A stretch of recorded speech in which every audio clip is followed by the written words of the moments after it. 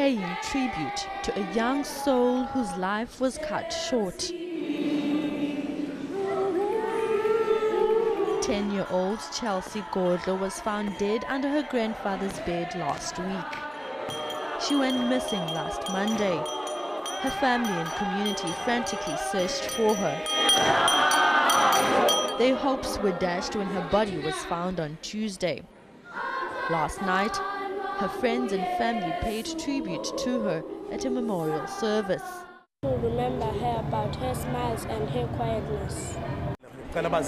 I would just like to add that parents should pay careful attention to their children, talk to them and just communicate more with them. Her mother was too distraught to address mourners, but her aunt was able to share a few words. Chelsea was a, a quiet, nice, obedient child. Um, I even uh, saw her, you know, she, she wasn't like loud or anything that I can say. She smiled a lot.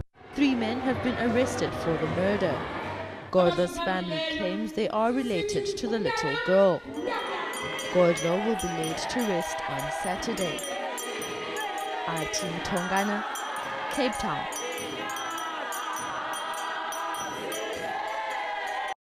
You deserve to know more. ENCA.com.